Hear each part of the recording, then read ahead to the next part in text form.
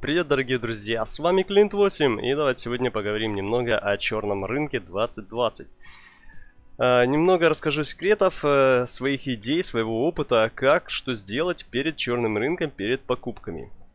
Будет, будут несколько списков, так что внимательно слушайте, приятного всем просмотра. Итак, первым делом, что нужно сделать? Это подготовить, проверить свой интернет, качество связи с серверами.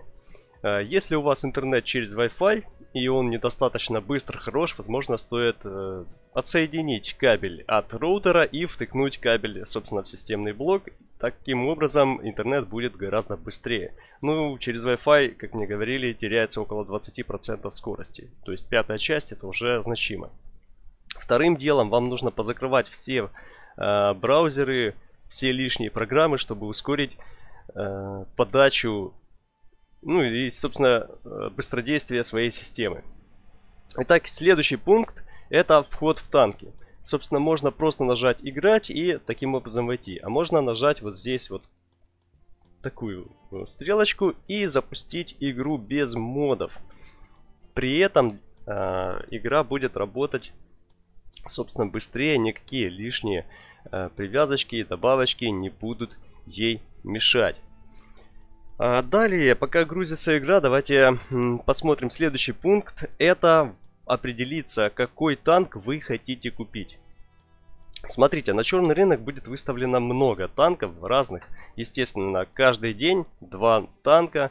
И вам нужно определиться, какой из них вы хотели бы себе в ангар. Поскольку каждый танк стоит какую-то определенную сумму денег, э, кредитов или золота, Возможно, даже э, разработчики поменяют правила во время а а акции и будут танки за боны. Поскольку они анонсировали там какой-то аукцион, а насколько мы знаем, предыдущие аукционы на, глобальные, за, на танки за глобальную карту были э, за боны. Поэтому,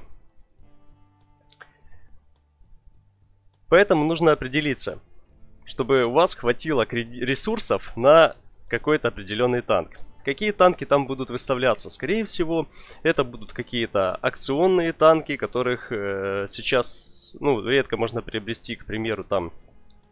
Давайте так, к примеру, сейчас это э, французский пятый уровень, да, у меня есть ПТшечка вот эта марафонская.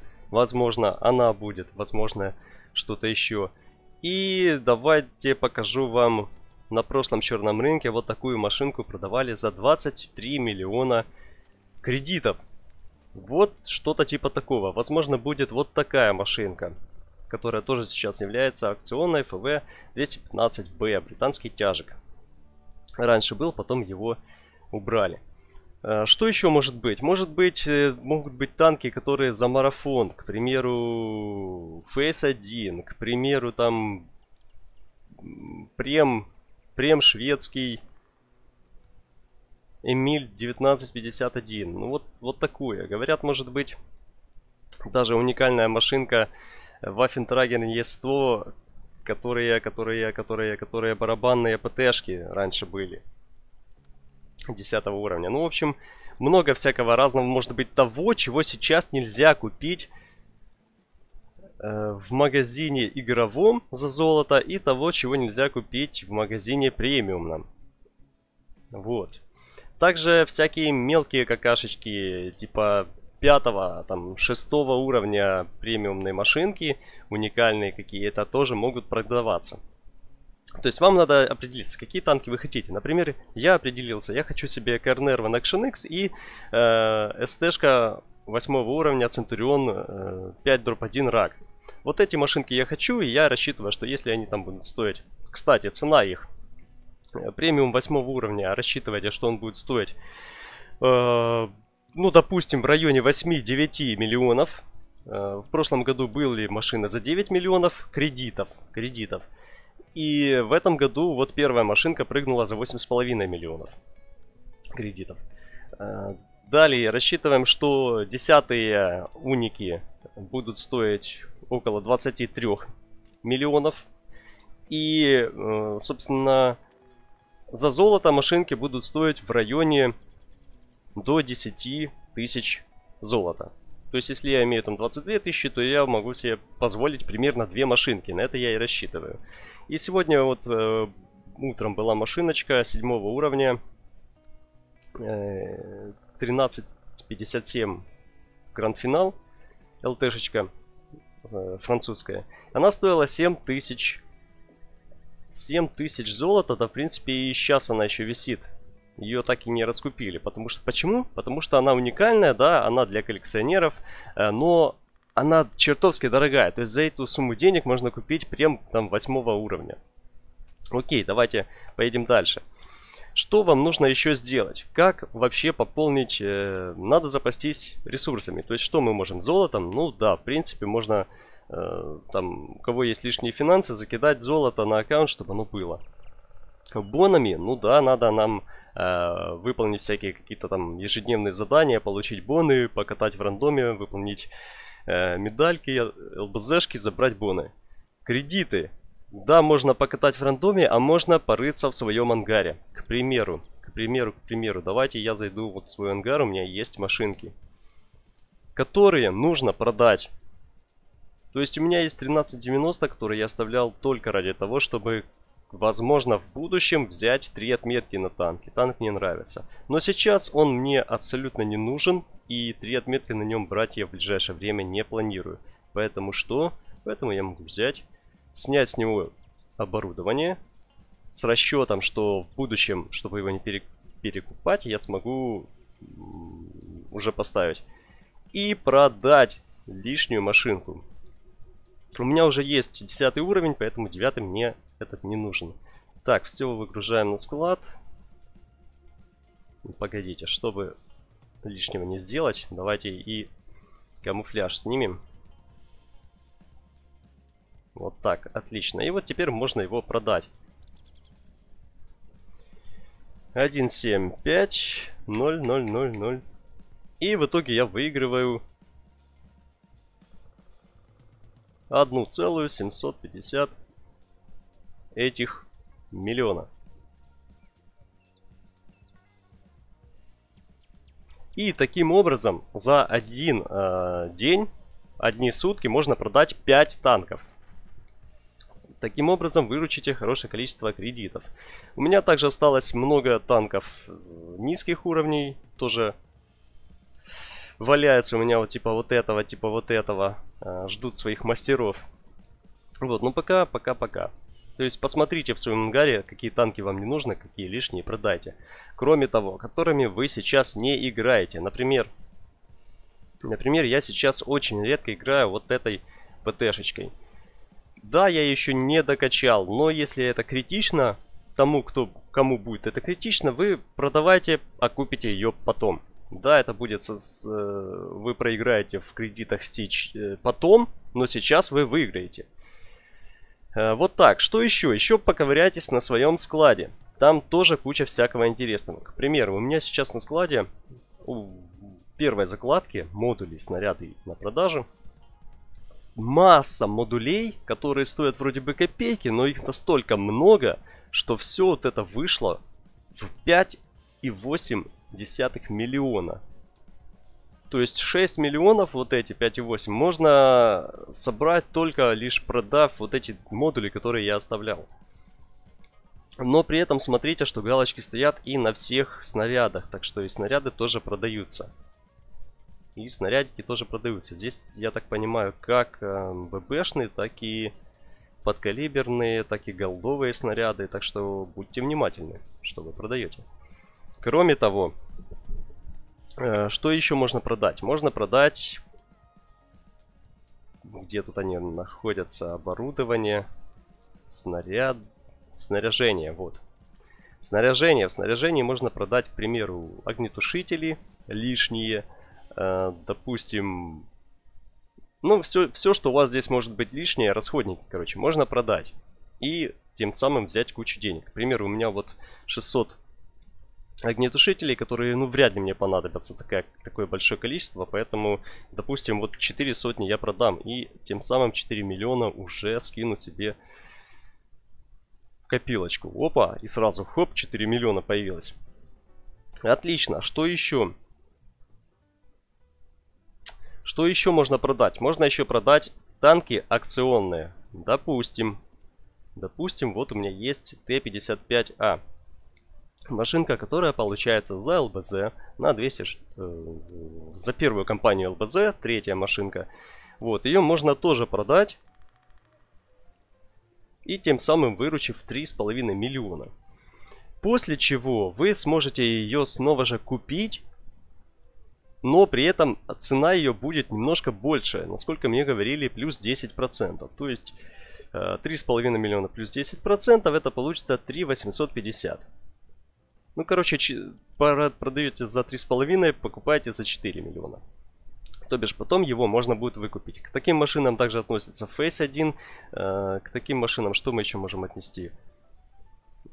Что еще такого есть? Ну, я так понимаю, что 10 уровни, те же самые вот ФВ. ФВшечка, которой у меня нет. Она 42 чего-то там стоит. Одна тысяча? Не, вряд ли. вряд ли вот эти машинки имеет смысл продавать. Вот, то есть вот такие махины, как Т-55А, имеет смысл э, продать, чтобы сейчас, вот здесь и сейчас получить количество кредитов. И едем дальше. Что нужно под, э, подготовить до черного рынка? Аукцион. Если они все-таки будут, вам надо определиться, снова же определиться по поводу этого аукциона будет много желающих приобрести какой-то там танк X, какой-то там танк X, который будет. Даже если вы еще не знаете, какой из них, э, собственно, там Chieftain, ну я так понимаю, те танки, которые за глобальную карту, там Chieftain, китайский 121B или 907 э, или еще какие-то танки. Вам надо определиться, сколько вы готовы выложить за этот танк. Потому что в момент аукциона адреналин прыгает, эмоции накаляются, и, собственно, как и на любых аукционах, вы готовы поставить больше, чем здравый смысл, чем вы бы себе позволили при э, трезвом, рассудительном э, моменте. Поэтому конкретно определитесь, там, я готов поставить за машину 10 уровня, там, ну, к примеру, 10 тысяч бонов. Припустим, у меня есть э, их 20, но 20 я не готов поставить, я готов только 10. Э, что насчет меня? Если бы я покуп... Я был, ставил бы, ну, скажем, скажем, скажем, скажем, не знаю, какая там машинка. Ну, скажем, Чифтейн, хорошо. Скажем, тот же самый Чифтейн.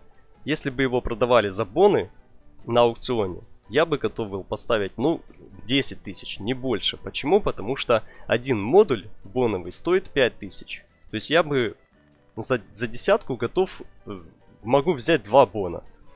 15 тысяч уже, 15 за танк 10 уровня, на котором я, ну, не, немного буду играть. Вряд ли я много проведу на нем боев. Я не готов поставить. Это три бонового оборудования. Это нет. Поэтому для себя определитесь конкретно, какую цену вы готовы выложить на аукционе. Это очень важно, правда. Дальше чтобы не пропустить момент, собственно, э, торгов, да, продажи, которые выпрыгивают ровно в ту же минуту, начало той же минуты, вам нужно поставить будильник заранее. Заранее включить компьютер, а заранее это примерно как, как сегодня, да, сегодня многие не могли просто зайти в магазин, многие не могли авторизироваться в танках, просто авторизироваться. 30 минут запаса не хватило, чтобы войти в игру. И 6 минут входило в магазин после этого. Ну вот представьте себе эти цифры, это при скорости интернета в 80 э, мегабит в секунду и с пингом в 13. И теперь сравните свои показатели там интернета, которые у вас есть, да, и сколько вам нужно времени, чтобы войти в игру, войти в магазин, вот сюда, в эту вкладочку. Вот, то есть, вот такая загрузочка у меня происходила 6 минут. Ну и вот сюда вот, собственно, в черный рынок. Кстати, вот сегодня утром продавали вот эту машинку и до сих пор ее продают, как вы видите, очень дорогая цена. Сами, сами коллекционеры ее только забирают. Ну и я ее не взял, не готов выплатить, э, заплатить такую цену. Окей, да, то есть ставим будильничек, за, включаем танки за там полчаса заранее, входим, внимание, входим в магазин, нажимаем черный рынок и сидим в этой вкладке все то время. Если вы заранее это сделаете, то у вас больше шансов первым взять эту э, машинку, которая появится. Поскольку процесс магазин, черный рынок, вход вообще сюда, пик э, начала старта продаж, это пипец. Это полный пипец. И так далее. И так далее. Если вы... Короче, один из последних пунктов, это надо себя настроить правильно, морально подготовить. К примеру, выставляют машинку, которую вы хотели бы купить, но по каким-то там причинам, допустим, Kernel Action X, как в прошлом году, его выставили на моем примере, но я не смог его купить, поскольку то ли долго заходила в танки, то ли я не мог подойти к компьютеру. Ну, бывают разные ситуации. И я его не купил. Расстроился ли я? Да, расстроился. Но при этом я был готов, я знал, что вот, ну, бывают в жизни моменты важнее. Поэтому будьте готовы, что какой-то лот, возможно, который вам понравился, вы можете просто отпустить не потерять, потому что вы его не имеете, а просто отпустить. Вот спокойно, морально настройтесь о том, что без сожаления вы можете этот слот отпустить. Ну, бывают такие моменты. И все. Поэтому трезво, здраво подходите к этому, к, к этому ивенту. Желаю вам удачи, желаю вам хорошей подготовки, поскольку подготовка это сколько там, как говорили раньше крутые ребята из редов, кланы такие были. Подготовка это 70% побед. Так что удачи вам, друзья, хороших покупок и пусть у вас будет все окей. До скорых встреч!